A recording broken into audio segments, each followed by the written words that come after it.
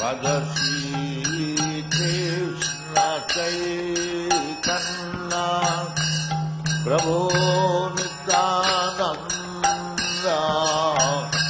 Shri Advaita Gadadhara own ज्ञानति मिरन्दस्य ज्ञानं ज्ञानस्थलकया चक्षुरुन्मिलितं येन तस्मै श्रीगुरवे नमः.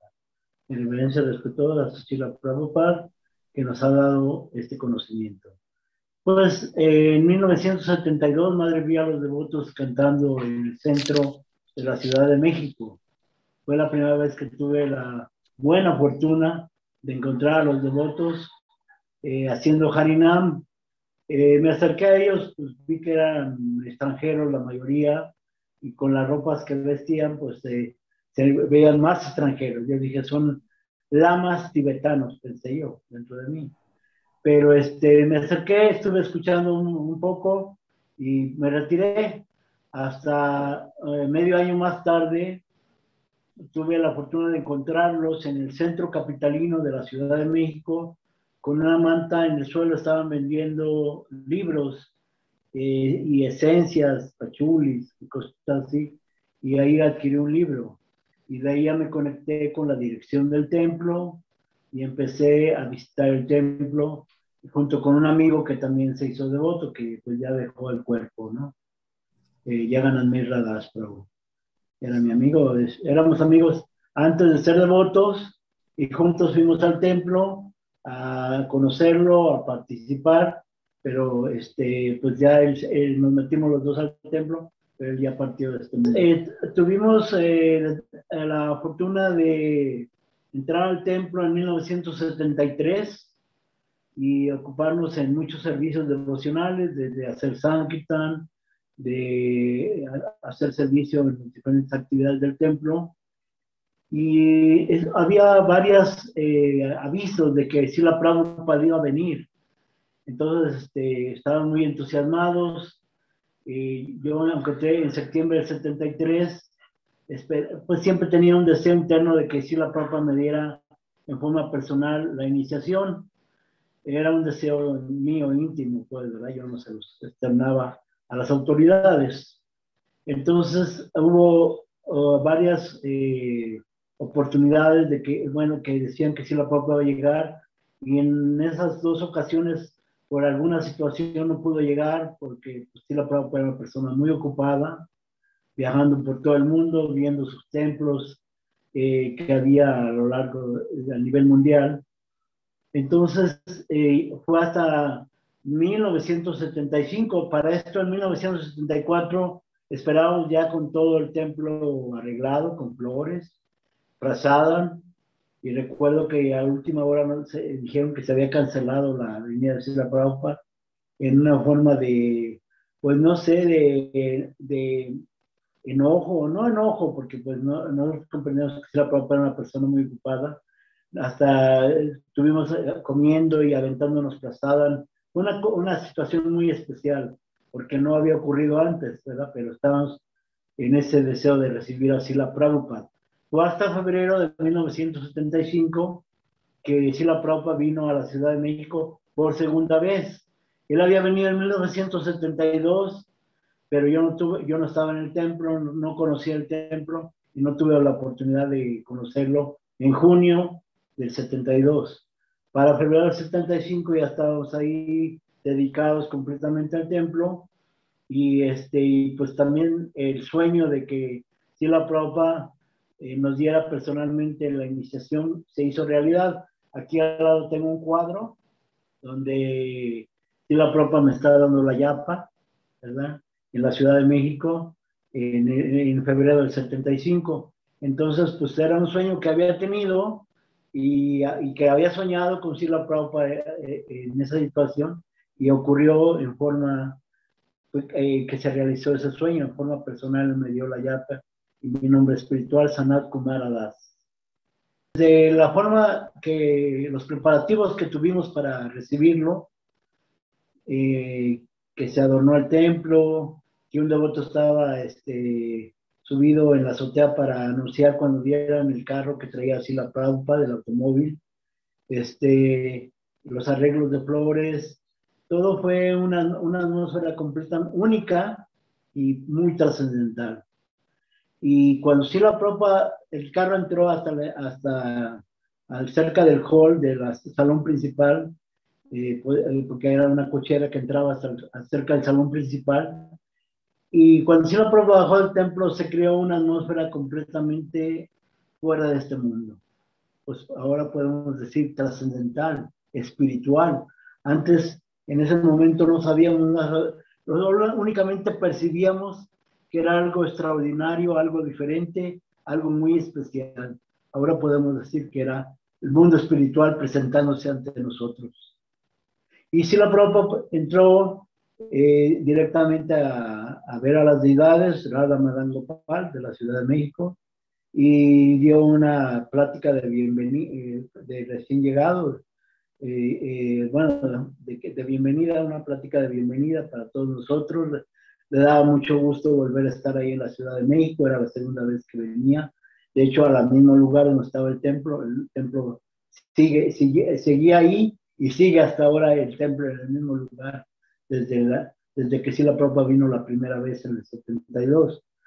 Entonces, todo fue una, pues todos los devotos estaban muy eufóricos, muy entusiasmados, muchos, por lo mejor por el poco tiempo que teníamos, no podíamos dimensionar eh, ese evento tan especial que teníamos en nuestra vida, ¿no? Pero teníamos mucho respeto, mucha, mucha dedicación al servicio y eso nos permitió pues acercarnos e ir apreciando ese evento tan, tan, tan especial. Y se nos había encargado por medio del presidente del templo ser guardias de Sila Prabhupada. Eso nos permitió como estar más cerca de él, cerca de su cuarto, cerca de las entrevistas que tuvo en su habitación, este, cuando tenía las conferencias en la tarde, únicamente clases del Bhagavad Gita. En las mañanas solía salir a un parque que está muy cerca de donde está el Templo de México el día de hoy, se llama el Parque Chapultepec, queda únicamente a tres cuadras de, de donde está el templo. Y él, eh, lo habían llevado a visitar ese parque desde 1972 y él siguió esa rutina de ir sus caminatas que salía a las 6 de la mañana a hacer un recorrido y él iba siempre adelante como conociendo ya el lugar muy bien, ¿verdad? Él, dirigía la, caminata, este, me tuve la fortuna de acompañarlo en un par de ocasiones a esas caminatas y este, pues siempre decir la Prabhupada era completamente trascendental. Recuerdo que en una ocasión se paró ante un grupo de karatecas que estaban haciendo ahí sus ejercicios, sus gritos, ¿verdad?, de karate. Y si la Prabhupada volteaba en una forma así, eh, muy a mirarlos, pero de una forma muy sencilla, y decía, tigres, quieren ser tigres, porque ellos estaban gritando sus gritos de karate, ¿no? Y si la Prabhupada continuaba la caminata, caminaba muy velozmente, muy, eh, para seguir el paso había que casi un poquito como correr, como trotar uno, porque si la Prabhupada caminaba muy rápido. Entonces, eh, en esa misma ocasión, él mismo dio la vuelta, hay una área que se llama la calzada de los poetas, calzada de los, de los músicos, él caminando dio la vuelta y dice calzada de los filósofos. Y en ese parque hay unos, eh, todavía existen porque son árboles eh, de muchos años, eh, se llaman agüehuetes ahí en el parque de Chapultepec. Y, si la prueba pues se acercó uno y dijo, lo miró y, y, volvió a preguntar al grupo que íbamos, ¿qué le falta a este árbol? el árbol ya estaba, estaba secándose. Y pues la mayoría de los devotos teníamos temor de responder, aún los devotos americanos, sanyazis, que iban con él, la mayoría tenían temor de responder porque fueron a decir algo equivocado, ¿no? Entonces la prueba a mí no daba la respuesta amablemente, decía, el alma espiritual se ha ido, por eso ya está secando. Entonces sí la prueba era así muy elocuente, muy filósofo, ahora sí que entró en la calzada de los filósofos. Y, y eso fue una de las, de las vivencias más intensas que tuvimos, las caminatas matutinas con Sila Prabhupada. Aparte, pues en las clases, muchas veces no podíamos estar ahí muy, muy cerca, muy cerca, estábamos teniendo la, el servicio de ser guardias. Sila Prabhupada, creo que en, este, Melbourne, en, Australia, algunos cristianos y comunistas habían uh, disturbado la... Hacer, habían hecho un disturbio en la conferencia que daba Sila Prabhupada. Y debido a eso, pues como que las autoridades devocionales en ese momento dijeron, vamos a poner a alguien que cuida a Sila Prabhupada. Aunque él es nuestro protector universal y eterno, nosotros en ese momento, en una forma, pues no sé, graciosa, fungimos como sus guardias, ¿verdad? Esa fue una de las, de las situaciones que tuvimos. Así la Prabhupada, eh, yo creo que era una rutina en todos los templos que visitaba, lo llevaban a visitar todas las áreas del templo, el cuarto de Puyaris, la cocina, el cuarto de los devotos, de las devotas, ¿verdad? Eh, y recuerdo que sí la Prabhupada en este, lo, lo, llevaron a la azotea y para mí fue muy este, pues, sorprendente que hicieran eso. Ese día que tocó que subieran a la azotea, yo había estado de guardia en la noche, ¿verdad? Ahí alrededor del cuarto de Sila Prabhupada y me fui a dormir a la azotea en el día. Sila Prabhupada pasó con el séquito de devotos en la azotea y me vio acostado en un sleeping bag, en una bolsa de dormir. Entonces, Sila Prabhupada volteó también de reojo y dijo, que duerma menos díganle que duerma menos. Entonces, este, pues yo ya con el bullicio de los devotos, el séquito de, de los devotos que iban con Sila Prabhupada, eh, que, eh, que hacía esa inspección de los templos, de, de, su limpieza, de su organización, pues me desperté y pues alguien me dijo, hay que dormir menos. Bueno, gracias, ¿verdad? Entonces, eso fue una situación chusca para mí, pero bueno, sí la prueba pasó por ahí cerca de donde estaba yo descansando, porque había, nos había tocado el servicio nocturno de cuidar el cuarto de Sila Y eso fue, esas son eh, la, las, las, clases, dio clases continuas por una semana, eh, ahí en el hall del templo, ahora es, ahora es ahí están las deidades, pero antes era el salón principal, el área de, del templo, y ahí se instaló el Sasán y ahí donde cabían más devotos. Siempre había una multitud de devotos y de personas que visitaban el templo. Siempre estaban rebasando los 300 personas en el templo. Eh, la, la, la, situación es que si la Prabhupada bajaba, daba la conferencia, estaba traduciendo Sirla Yanda Maharaj y, este, y él regresaba a sus cuartos y entonces empezaba un gran kirtan muy voluminoso de sonido que glorificaba así la Prabhupada con y se cantaba el Mahamantra Hare Krishna. Bueno, se sigue cantando ahora, pero todavía sigue ahí el templo. Eso fue una de las vivencias que tuvimos. Hubo otra salida a ese parque de la Ciudad de México, donde Sila Prabhupada solía hacer sus caminatas matutinas, tiene otra sección eh, se le llama sección 2 del Parque Chapultepec. Y en esa, ahí en esa sección, si la Prabhupada, cuando llegaron, se estacionaron los carros que, baja, que bajamos para acompañarlos caminata. Si la Prabhupada se detuvo frente de un bote de basura y le preguntó a Hidayana Maharaj qué decía el rótulo en el bote. Ponga la basura en su lugar. Entonces, si la Prabhupada dijo, aquí no cabe todo, todo el mundo material, ¿verdad? era muy elocuente en esas, en esas cosas filosóficas y, y que con la, la, la, finalidad de enseñarnos, de instruirnos, de darnos a entender que este mundo es temporal, es pasajero, es un mundo material.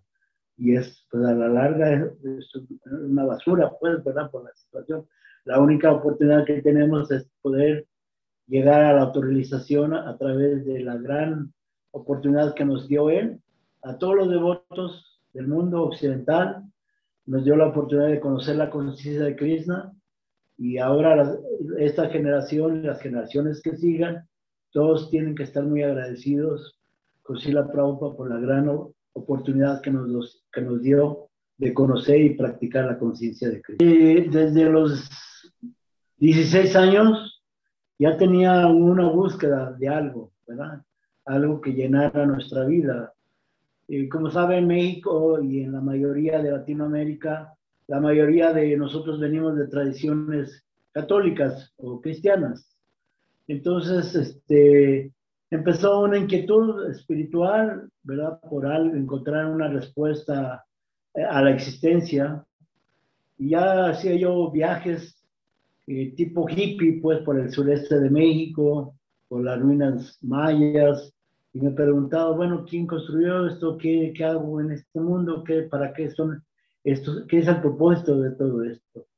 Entonces, eh, a la edad de los 18 ah, años fue cuando conocí a los devotos, 1972. Y el año que siguió, en, en septiembre, cuando cumplía yo 19 años, ahora sí como me di el regalo de irme a, agregar al templo de la conciencia de Cristo. De hecho, recién había, eh, habían venido a instalar las deidades eh, de Radha Madangopal, las deidades de Radha Krishna que están ahí, y me, tocó, me tocaron eh, conferencias de Soru Maharaj, que fue el, el, devoto que hizo la biografía de Sila Prabhupada, los seis volúmenes de la biografía de, Sila Prabhupada Linambrita. Y entonces él había venido a hacer la instalación de las deidades y me tocó a mí escuchar sus conferencias. Y fue, la verdad, la atención y amabilidad de los devotos que me atrajo completamente porque yo era renuente a entrar donde estaban las deidades porque decía, eh, bueno, esto es idolatría, ¿verdad? ¿Cómo es que ellos eh, representan a Dios de esta forma? Si eh, alguien lo conoció personalmente a Dios, ¿por qué lo representan? Estaba uno completamente neófito y con tendencias o información católica cristiana.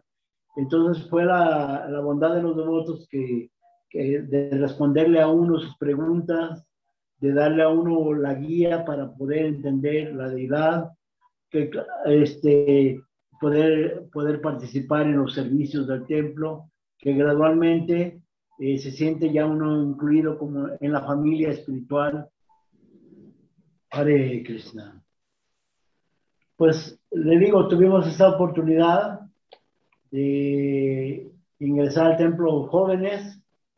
Todavía éramos estudiantes de la preparatoria aquí, en la Ciudad de México y tuvimos la, pues teníamos inquietudes, pero sin embargo, eh, a pesar de esas inquietudes, seguíamos estudiando porque era la forma de vivir o progresar en el plano material.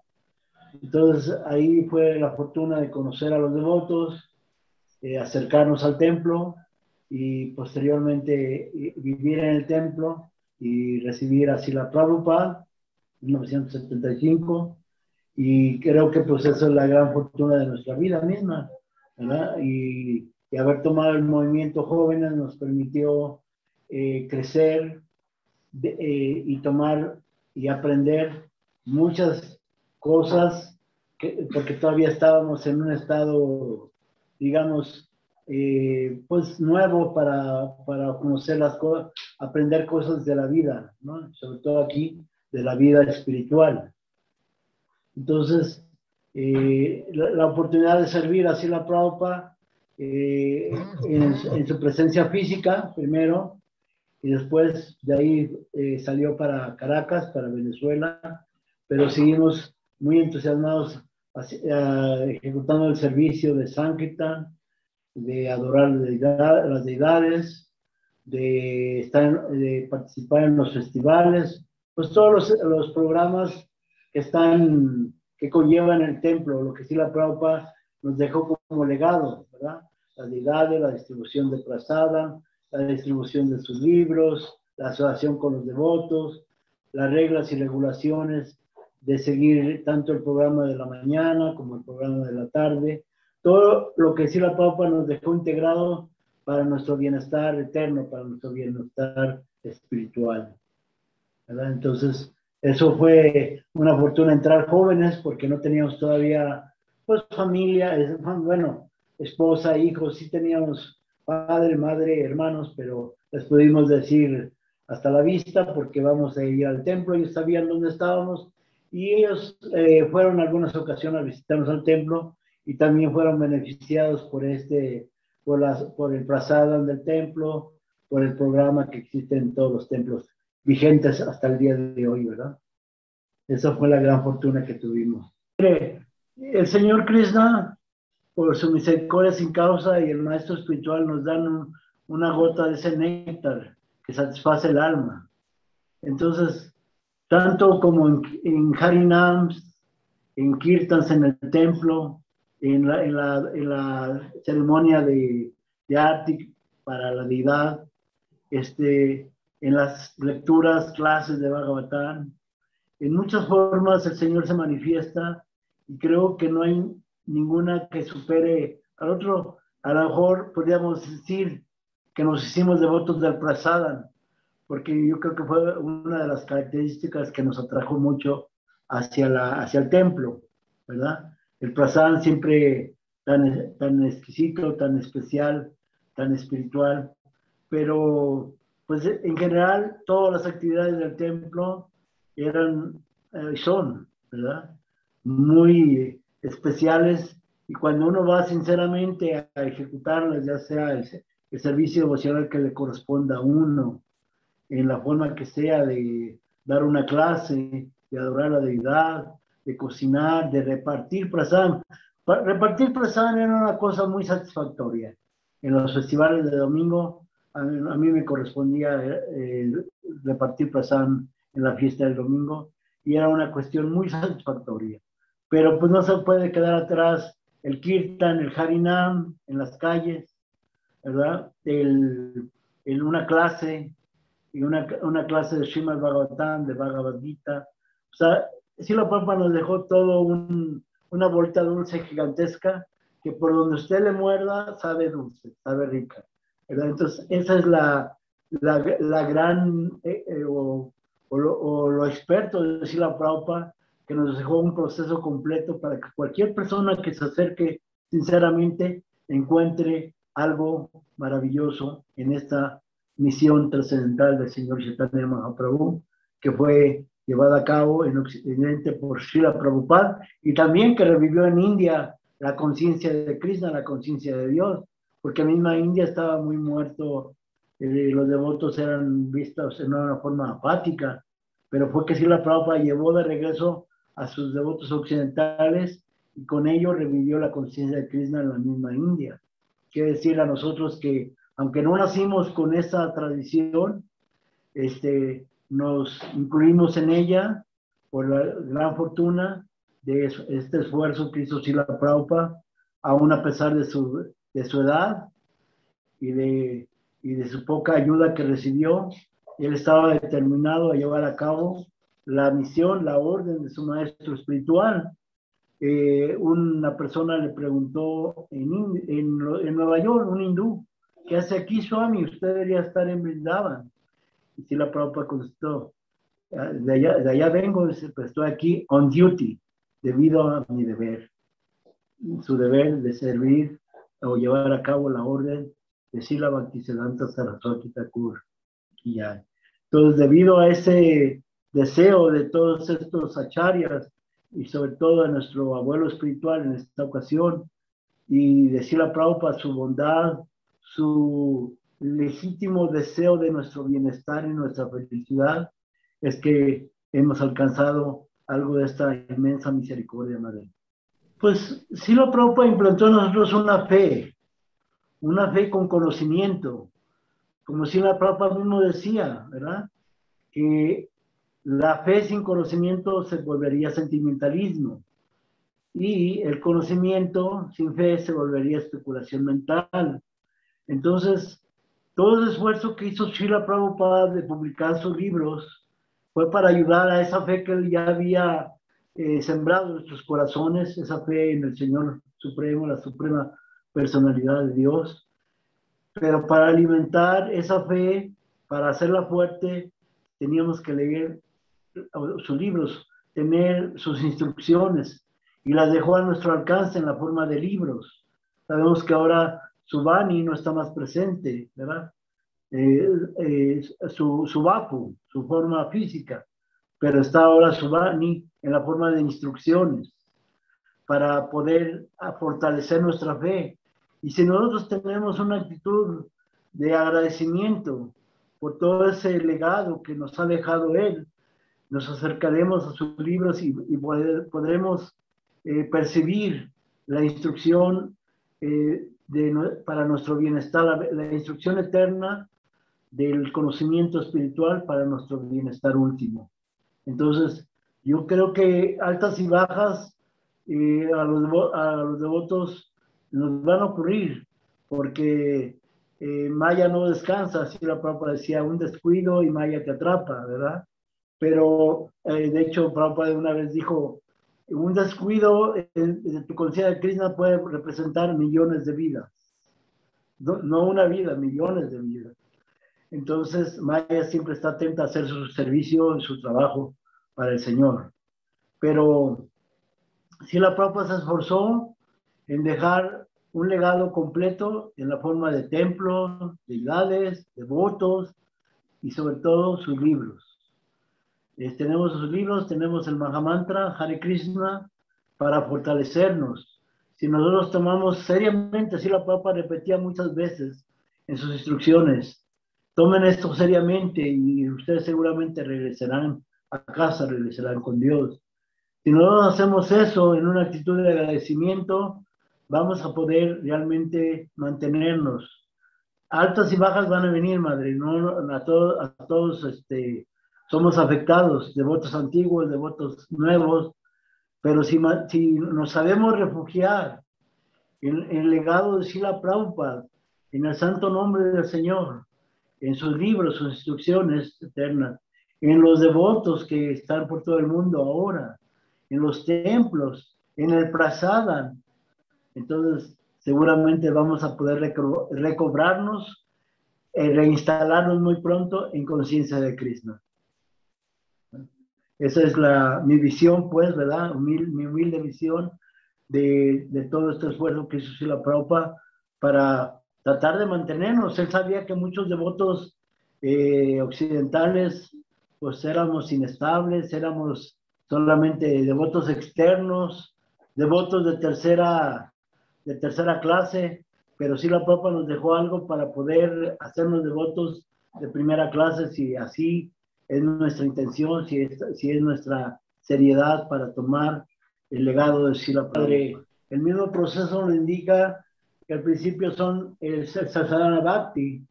El Sadhana Bhakti es necesario porque nuestra naturaleza humana nos, tenemos muchas tendencias, muchas veces oscuras, bajas, degradadas, pero el sadhana bhakti es la otra naturaleza que se forma. Prabhupada decía que había dos, dos naturalezas, la que tenemos de nuestro nacimiento, de nuestro karma previo, y la que se, se, se toma por la práctica, por nuestra vida diaria, por lo que practicamos en nuestra vida diaria. Y la conciencia de Krishna se vuelve la segunda naturaleza que la adoptamos a través de un sadhana bhakti, de reglas y regulaciones devocionales. Esas reglas y regulaciones al principio cuestan, eh, pero como sabemos que hay un beneficio, ¿verdad?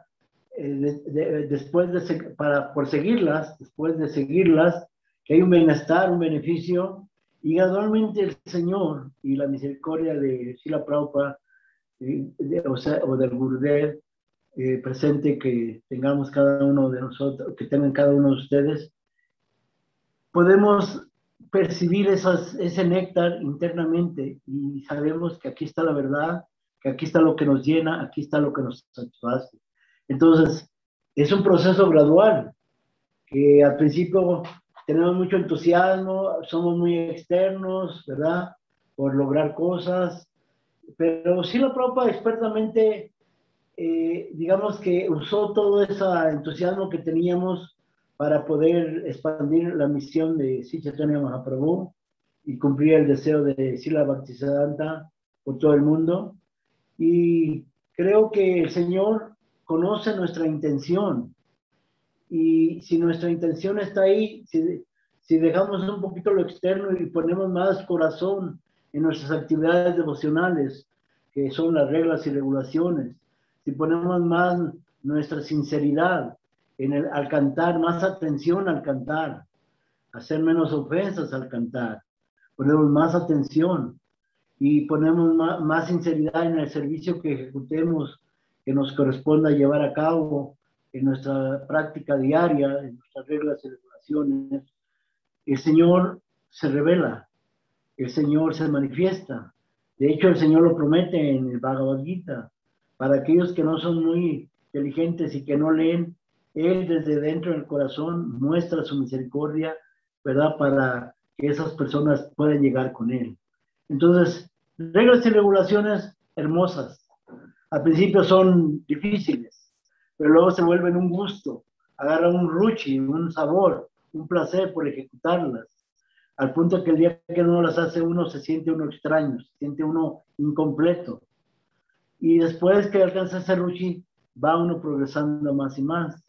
Entonces, a los devotos se les, eh, se les pide que sigan estas regulaciones porque sabemos, sabemos por experiencia que los van a llegar a un nivel, los van a llevar a un nivel más elevado, más de placer espiritual. Eh, no teníamos la dimensión adecuada de lo que era aquella personalidad que había venido a caminar entre nosotros, a mostrarnos la conciencia de Krishna, a, mostrarnos el mundo espiritual.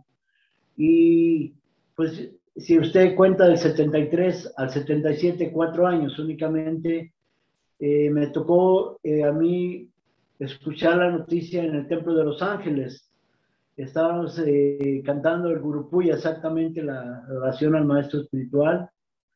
Y cuando se acaba el Gurupuya en Los Ángeles suele traducirse el significado de las oraciones del Gurupuya, ¿verdad?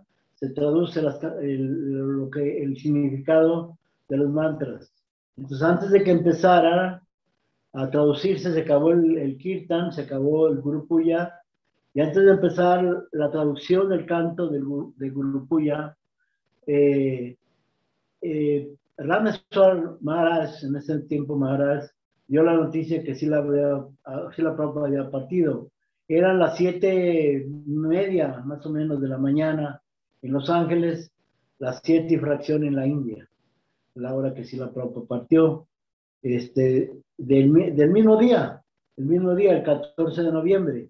Eh, pero yo en ese momento nos dio un, asombro, una tristeza, pero ahí quedamos impactados sin saber qué hacer. Ya la autoridad nos dijo que se iba a ayunar mediodía, que, este, que íbamos a tener un, evento especial a las 12 del día para glorificar a Shila Prabhupada y que se iba a tener una lectura especial y después íbamos a tener pesado. Pero Ciertamente que muchos devotos y devotas se quebraron en lágrimas, Particularmente yo me quedé eh, sorprendido, este, triste y eh, sin saber qué, qué, qué, continuaría. Pero ya, ya la, la infraestructura del movimiento estaba establecida, los programas, eh, las reglas de regulaciones estaban establecidas. Entonces, definitivamente eh, fue un momento triste, pero para a mí eh, estaba yo muy nuevo en el movimiento para que me hubiera afectado más, debido a que nuestro apego todavía, así la Prabhupada, apenas estaba creciendo, apenas estaba desarrollando. No, seguimos haciendo nuestro deber, nuestro servicio, nuestro Sankirtan viajeros, Sankirtan en la ciudad. Teníamos fe en lo que sí la Prabhupada nos había dejado. Teníamos fe en las autoridades que él había establecido en los GBCs, en los gurus que habían quedado, pues todos teníamos una fe este, y seguimos entregando lo mejor de nosotros a esta misión. Fue solamente este, un poco después, ¿verdad? Que fue solamente un poco después que ya empezaron anomalías, eh, pues por debido a la misma problemas de gurus es, que partían, ¿verdad? Entonces, este, eh, las anomalías empezaron por ahí hasta el año 80 y, 85, 84, es como unos 5 o 7 años después de la partida de Sila Prabhupada. porque ya hubo, hubo gurus que pues, dejaron el movimiento, entonces ya se empezó, se empezó a perder la confianza en la autoridad y empezaron a ir algunos problemas, pero pues vimos que si la Papa había dejado su legado, nos pidió que cooperáramos, que la verdadera forma de demostrar nuestro amor a Él era seguir cooperando y pues tratamos, hemos tratado hasta ahora de seguir obedeciendo esa orden de la Prabhupada. Yo siento ahora que no tenemos forma de repagar todo lo que la Prabhupada hizo por nosotros. Eh, las generaciones eh, venideras, no importa cuántas sean, ¿verdad? Siempre deben estar agradecidas con este gran esfuerzo que hizo Sila Prabhupada a pesar de su edad. Salió de India para entregarnos este, este gran regalo de la conciencia de Krishna. Y como él, en la película que seguramente todos han visto, de la película de Hare Krishna, él vino para ver que fuéramos felices, ¿verdad? Sin ninguna, sin estar dependiendo de, la, de las cosas materiales, ser felices sin necesidad de algo externo. Entonces, pues yo solamente quiero pedirle a las generaciones actuales y a todos mis hermanos espirituales y hermanas que todavía andamos por ahí, ¿verdad? Este, eh, esperando el final, pues que no, no, no, nos, no nos, alejemos de los pies del otro de la Prabhupada porque ahí está la misericordia infinita de, de Él y de, Sila, y de Señor Krishna. Esa es mi petición para mis hermanos, mis hermanas espirituales a todos los recién llegados, a todas las nuevas generaciones que hoy están y que van a venir, que están por venir, porque este movimiento no se va a detener por ninguna, por ninguna causa.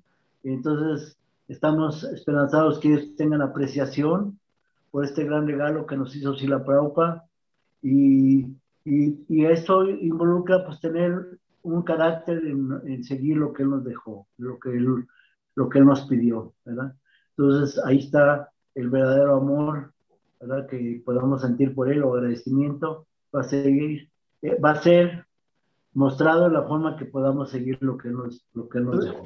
Tuvimos ese privilegio, digo, no por eso nos debemos inflar ni nada, de poder contribuir a, a la misión de Sila Prabhupada con, con lo que pudimos, ¿verdad? Con nuestro esfuerzo pequeño, insignificante, pero pudimos este, contribuir a, esta, a, este, a este esfuerzo de Sila Prabhupada, aunque sea de una forma pequeña. Y eh, nosotros estuvimos eh, haciendo Sankirtan eh, mucho tiempo, muchos años, distribuir libros en Sankirtan viajero. Y una de las cosas que nos llevó a estar con Sila Prabhupada otra, en una segunda ocasión y tercera ocasión fue ese Sankirtan viajero, porque estando en la frontera, en Tijuana, eh, la frontera con California, se, eh, vino el GBC, que era todavía Hidayana Maharaj, a pedirnos todo lo que habíamos conectado para la publicación del primer Bhagavad Gita en español. Entonces tomamos la oportunidad de pedirle permiso de poder ir al Ratayatra de San Francisco. En 1975 no había más que Ratayatra en San Francisco digo, no recuerdo si ya en Nueva York, pero en, la costa, en la costa eh, occidental no había más que en San Francisco. Y él nos dijo, no, pues si, puede, si pueden ir, vayan. Y nadie tenía pasaporte, éramos siete devotos que nadie tenía pasaporte. Entonces, fue por la misericordia del señor Chetania que fuimos a la línea vestidos de devotos. Como los devotos de San Diego venían mucho a distribuir los libros de Sila Prabhupada y hacer Harinam al centro de Tijuana, pues yo creo que las autoridades migratorias nunca pensaron que hubiera, haber, hubiera Hare Krishnas más al sur, latinos, ¿verdad? Y pues todos muy vestidos de devotos, rapaditos, cruzamos sin ningún problema la línea y fuimos a parar hasta San Francisco. Este, allá los devotos de, había unos autobuses que viajaban por por todo Estados Unidos a las universidades. Se llamaba Rada Mudar, eh, los, los, autobuses de Rada Mudar. Y cuando llegamos allá, pues éramos, era una sensación que devotos latinos estuvieran en un ratayatra, devotos de Sankirtan, latino o mexicanos, estuviéramos en, un, en, en el ratayatra y nos permitieron entrar a los autobuses, nos enseñaron los autobuses donde hacían Sankirtan viajero en las universidades de todo Estados Unidos. Y en esa época, 75, la talla, que era en finales de julio, tuvimos la oportunidad de ver a Sila Prabhupada una vez más en Berkeley, el templo de Berkeley, que está pegado a San Francisco. Y claro, en el Ratayatra mismo, ¿verdad? Porque Sila Prabhupada fue al Ratayatra, aunque esa vez fue muy, muy, muy poco tiempo, muy, tuvo muy pocos momentos. Y ya en, en, las iniciaciones que se dieron al día siguiente, en el templo de Berkeley, estuvimos, pudimos estar ahí. En el, en este, era el festival de, de 1975 de San Francisco, pero ya estaba el templo de Berkeley. Y ahí hubo iniciaciones. Posteriormente, Prabhupada vino por última vez a, a, a, en junio a, Los Ángeles y estando yo en el templo de San Diego, el, el, presidente nos dijo, vamos a ir a ver a Sila Prabhupada, pero no se pueden quedar porque aunque Sila Prabhupada va a estar varios días, necesitamos que todos los devotos del templo puedan ir. Y tuvimos la oportunidad de ir a ver por última vez, a, a esa vez que vino al templo de Los Ángeles, 1976, a Sila Prabhupada en, en presencia física en el templo de Los Ángeles.